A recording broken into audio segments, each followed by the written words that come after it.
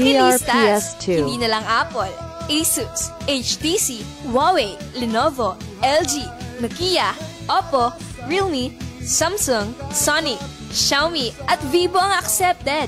Pati Infinix accepted na. DRPS2. Accepted ito sa lahat ng branches ng Racket Phone Shop.